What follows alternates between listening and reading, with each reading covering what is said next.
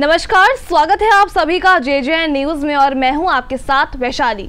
हल्द्वानी 17 मई 2023 thoracic और फेफड़ों से जुड़ी अलग अलग बीमारियों के उपलब्ध इलाज और रोबोटिक लंग सर्जरी जैसी अहम जानकारियों को लोगों तक पहुँचाने के उद्देश्य से मैक्स अस्पताल वैशाली ने आज यहाँ एक जन जागरूकता सत्र आयोजित किया।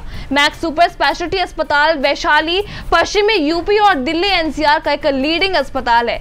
मैक्स अस्पताल वैशाली में थोरासिक विभाग एंड तो रोबोटिक सर्जरी के डायरेक्टर डॉक्टर प्रमोद जिंदल ने इस कार्यक्रम में मौजूद रहे। उनके साथ हल्द्वानी के वो चार मरीज़ भी रहे जिनका मैक्स वैशाली में इलाज किया गया।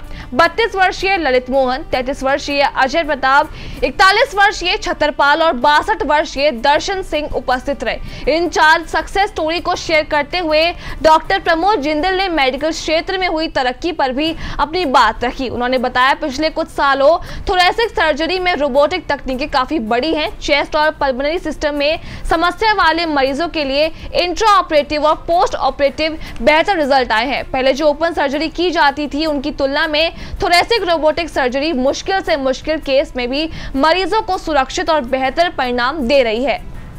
फेफड़ों की जो सर्जरी है, वो basically costly in the sense कि बहुत कम लोगों को होती है, बहुत कम सेंटर्स हैं और इसमें हमारा सामान और जिसे बोलते हैं अत्याधुनिक जो टेक्नोलॉजी होती है, वो बहुत यूज़ होती है। और इसी वजह से मैं ये नहीं कहूँगा कि बहुत सस्ती सर्जरीज हैं उनकी डेफिनेटली कॉस्ट तो होती है लेकिन अगर आप ये देखें कि उनकी जो आराम मिलता है पेशेंट को आफ्टर सर्जरी वो uh, बहुत ज़्यादा होता है एज़ कंपेयर टू जो प्रॉब्लम्स हैं।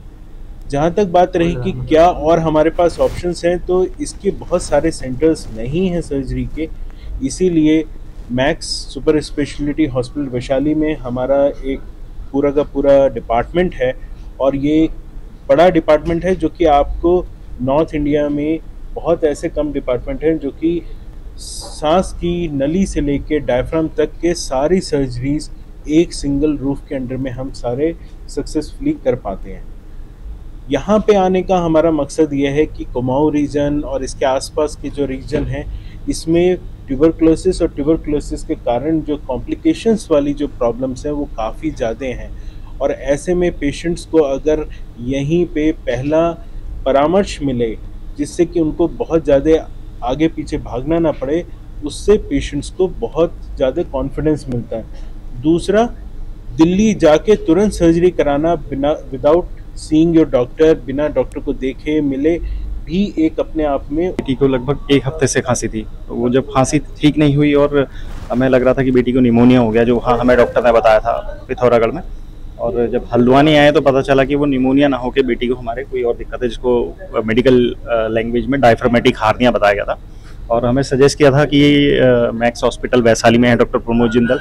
उनकी हल्द्वानी में भी ओपीडी होती है।